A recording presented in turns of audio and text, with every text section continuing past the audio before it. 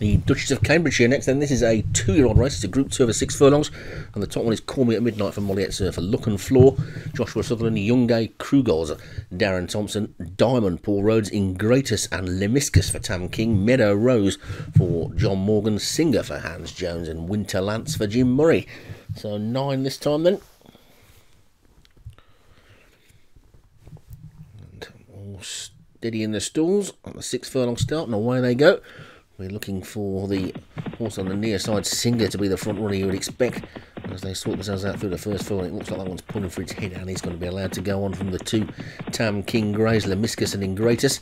Then Winter Lance right over on the far side. So it's almost four in a line, followed by four in a line, about four lengths behind the first four in a line then at the moment. So Ingratus the first of the greys. The other grey is Lemiscus. Singer is in the dark green jacket nearest to us.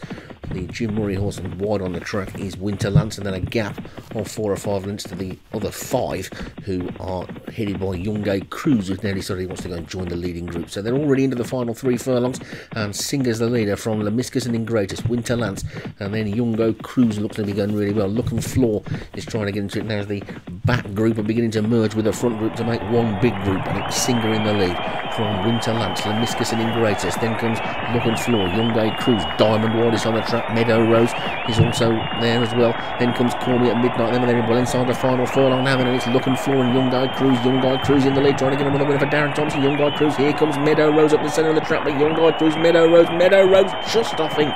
It's mighty close on the line. Meadow Rose.